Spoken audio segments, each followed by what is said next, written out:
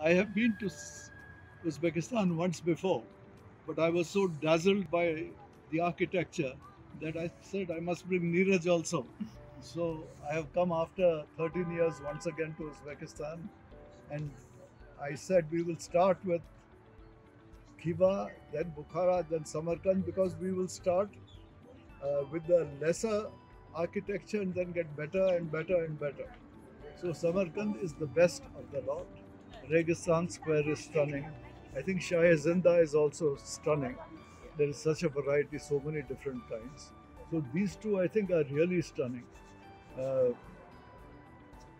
we like Bibi Khanum Tomb as well. We like the Gur-e-Amir. I mean, there are so many beautiful monuments. It's difficult to keep it inside the head. But we've taken photographs. We will look at it later when we go home, and we will remember Samarkand as one of the places of the greatest Islamic architecture.